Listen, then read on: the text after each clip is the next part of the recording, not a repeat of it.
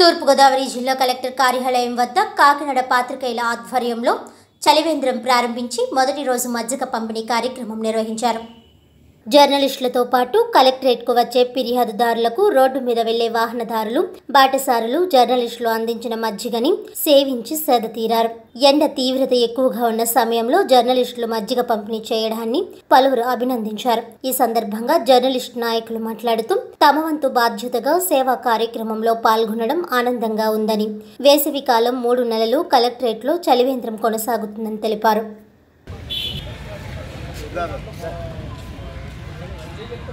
Photo తీసుకో. మామిడి okay వెనకరా వెనక్కి ఎందుకు?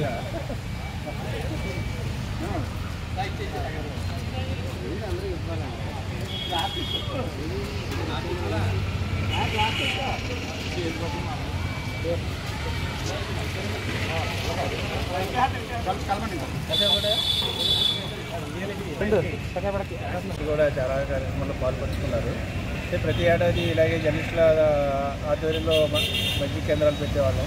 గత సంవత్సరం అయితే కోవిడ్ కారణాల వల్ల మేము చేయలేకపోయాం. ఈసారి వా- ఎండలు బాగా ఎక్కువ ఉంటాయని చెప్పి అనే ఆలోచనతో ముందుగానే పెట్టాల్సి వచ్చింది.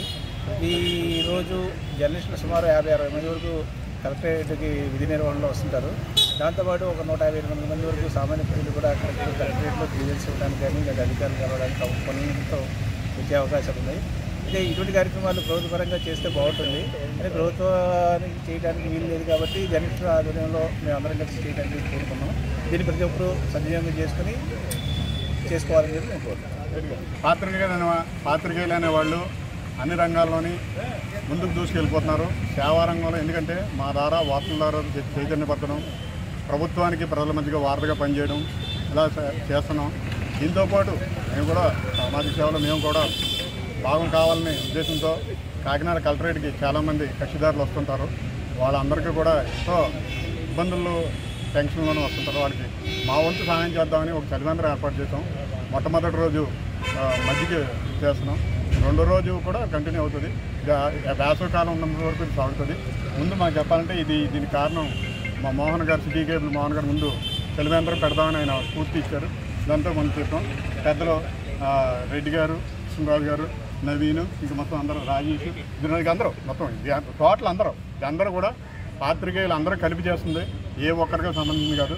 ఇది మాకు మా వంతు మేము సహాయం చేయడానికి నేను థ్యాంక్ యూ కేవలం అంటే జర్నలిస్ట్ అనేది వార్తల సేకరణకే పరిమితం కాకుండా మేము కూడా సేవ ఉంటాం మేము కూడా సేవలు అందిస్తామనే ఒక మంచి నినాదంతో ఈరోజు మన కృష్ణ ఈ కార్యక్రమాన్ని జర్నలిస్టుల సహకారంతో ఇక్కడ స్టార్ట్ చేయడం అనేది చాలా గొప్ప విషయం. ఇంచేతంటే చాలామంది అంటే కలెక్టరేట్ ఇప్పుడు జిల్లా ప్రధాన కేంద్రం అదేవిధంగా కలెక్టరేట్ ఈ చాలామంది వస్తుంటారు కక్షిదారులు అదేవిధంగా మా జర్నలిస్టులు వస్తుంటారు ఎంతోమంది వస్తుంటారు.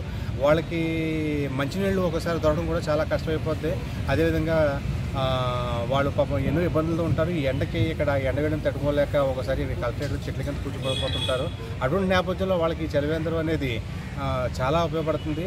కాబట్టి అయితే ఒకటి కరోనా నేపథ్యంలో మనం జాగ్రత్తలు తీసుకుని ప్రజలకు ఒక మంచి సేవలను అందించాలని ఆ అందించడానికి శ్రీకారం చుట్టిన మన జర్నలిస్ట్ సోదరు కృష్ణకి మిగతా పాత్రికేయులకి అందరికీ కూడా అభినందనలు తెలియజేస్తున్నాను. Thank you